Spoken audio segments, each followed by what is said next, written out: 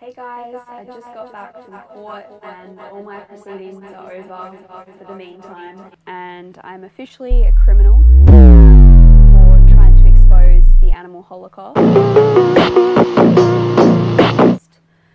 So I'm just doing this video to give you an update. Shut the hell up! on. Monty. Damn! Oh, he's so cute. For those who don't know, this is Monty. Mhm. Can you all shut the hell up? I can't focus. You're goddamn annoying. Bruh, bruh, bruh.